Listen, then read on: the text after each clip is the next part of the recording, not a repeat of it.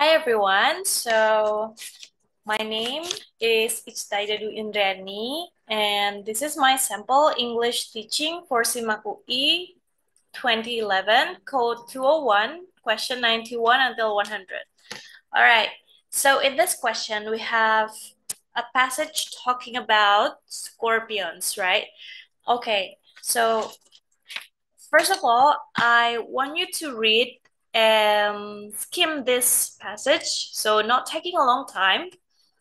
Uh, to remind you that you don't have to read and know every single word that is written on the passage. Just take the main points there and then you go straight to the question, number 91.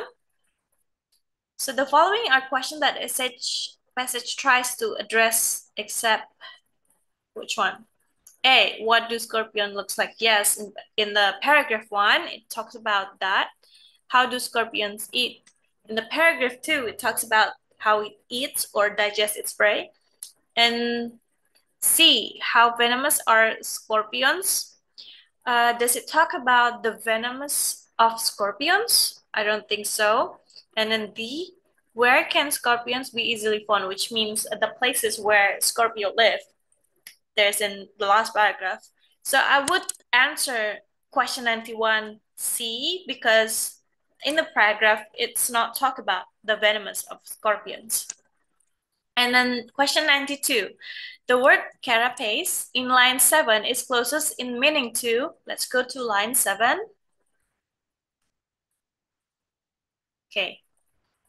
So the upper side of the cephalothorax, cephalothorax is a flat carapace bearing a pair of large median eyes and a group of two to five small eyes on each side margin. So in here, we can see it's a flat carapace bearing a pair of large median eyes. So in between the median uh, eyes of the scorpions, like you can see they're, they're protected by this thing called carapace right? So remember how a scorpion is shaped. Which one is the closest one? Is it body? I don't think so because it's between eyes. Is it covering? Might be. Is it waist? No, it's between eyes. Is it tusk? Maybe. Maybe it's tusk, but you can see in uh, the animal of scorpions, there's something covering in their eyes, right?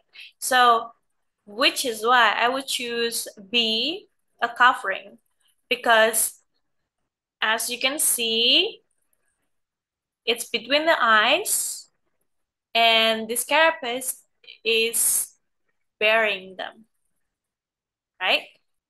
The following animals would most likely be a scorpion's prey, except, okay, so we're gonna go look for uh, the food that the scorpions eat or the its prey.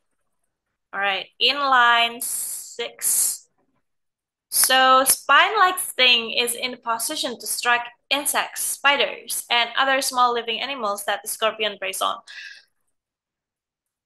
Scorpion eats insects, so beetles, yes, spiders, yes, grasshopper, of course, birds. Is birds a an insect? I don't think so, so I would answer 93 with birds. Okay. Let's go on to 94. According to the passage, the following are parts of a scorpion's body used to attack its victim, except the sting. Of course, uh, the scorpio uses its sting to attack its prey. Its legs. Does it use its legs? Pincers. Yes, they use pincers. And the last one, chelicerae. Is it use chelicerae? Okay, let's find in the passage. So held out in front of the test terrain is a pair of long, robust pedipalpi provided with stout pincers. It uses pincers, which are used to hold the prey. A small but strong pair of jaw-like chelicerae in front of the mouth aids. So chelicerae, yes, in front of the mouth mates in crushing the body of the victim. So I would answer 94 with legs because it's not mentioned there that the legs do any particular important um, assignment for uh, digesting its prey or attacking its prey. So the legs. Question 95. According to the passage, which of, which of the following is true about scorpion? Their natural death is by stinging themselves. And then the average size is 9 centimeters. And then C, they like damp and cool areas. They lay eggs. Uh, okay, so let's go back to this paragraph. Um, most arachnids lay eggs. The scorpions are viviparous, bringing forth living young. So that means Scorpios doesn't lay eggs. They they bring forth a young version of uh, scorpions itself. And then the size. So in here you can see they are 7 inches, about 180 millimeters or 18 centimeters. So it's not 9, it's more than that. And they live in they abound in humid tropical areas and in hot deserts, which means they don't really survive in hot uh, in cold weather. So mostly they they like tropical areas and hot deserts. A, I would choose their natural death is by stinging themselves, and the rest of these options are just not relevant. Okay, so move on. 96, the word they in line 24 refers to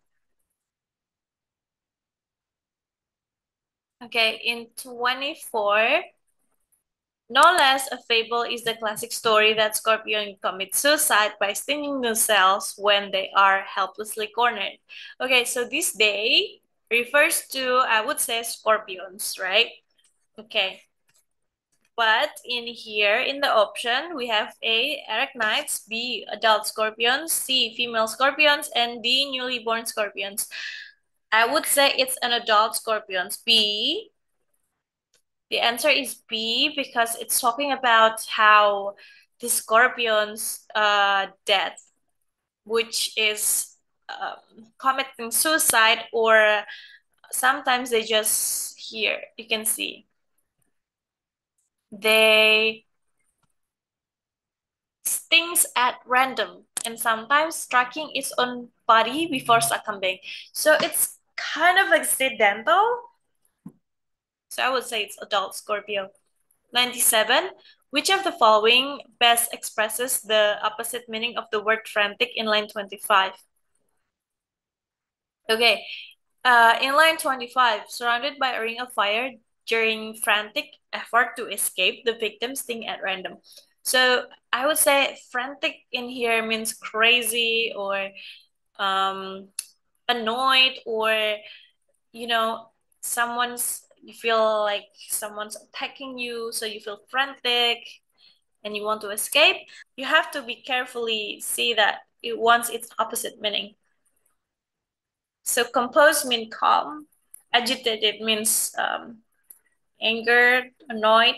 Desperate means also the same, tense also the same. So I would say it's composed, which is the opposite meaning or the antonym of frantic. Okay. 98. Which of the following about Scorpion is not supported by the passage? They are active during the day. No.